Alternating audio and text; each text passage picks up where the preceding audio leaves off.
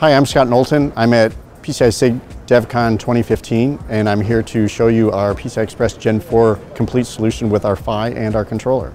So on top here we have our ARC processor running Linux, and uh, connected to that processor we have to have a, a root port, and so we've implemented the root port and root complex with our PCI Express IP. We go down through a PHY. Um, in this particular here, it's our PHY test chip. Go down across the back plane here, into another PHY, of course running 16 gigs on this side of the link, to our PCI Express endpoint on the other side, which has memory as an application.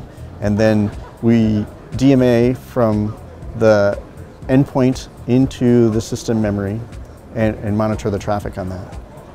And so what I'm going to do is to show you that it's actually running live, I'm going to run LSPCI and we're going to look at the configuration space and it tells us what we're having that we're running at Gen 4 and then up here, um, you can see as we're doing the reads between the system to the memory, uh, we're getting about 1.4 gig transfers.